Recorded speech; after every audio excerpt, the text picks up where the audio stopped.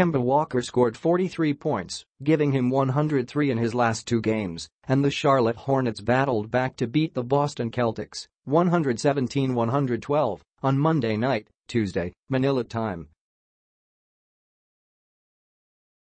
Walker followed up his NBA season-best 60-point effort in an overtime loss to the 76ers on Saturday night with another spectacular performance, scoring 21 in the fourth quarter and making 14 of 25 shots, including seven more three-pointers.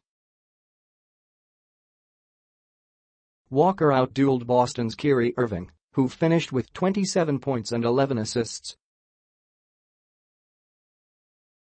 Jeremy Lamb had 18 points and Willy Hernangomez added 14 as the Hornets beat the Celtics for the first time in eight tries.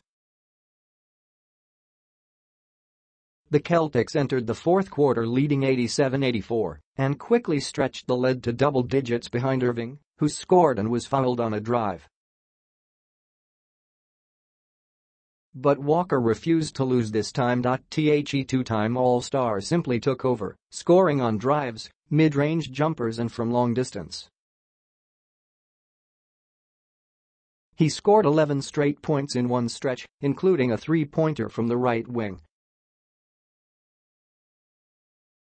Walker was 7 of 10 from the field in the fourth quarter, including 4 of 6 from beyond the three-point arc.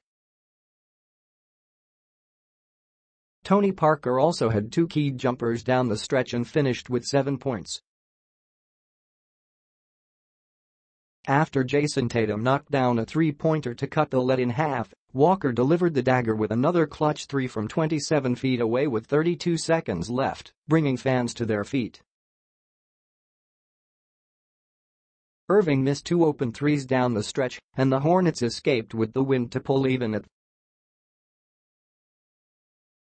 500. Tip-ins. Celtics, Aron Baynes got the start over Gordon Hayward at forward. The change didn't matter all that much as both were one of four from the field in the first half. Hornets, Nic Batum continued to struggle with his shot in the early going, missing his first four shots before knocking down a pair of three-pointers. Batum, who failed to score against the 76ers, had nine points. Malik Monk, who has missed his last 16 three-point attempts, didn't play in the second half. Up next. Celtics host Knicks on Wednesday night. Hornets host Pacers on Wednesday night.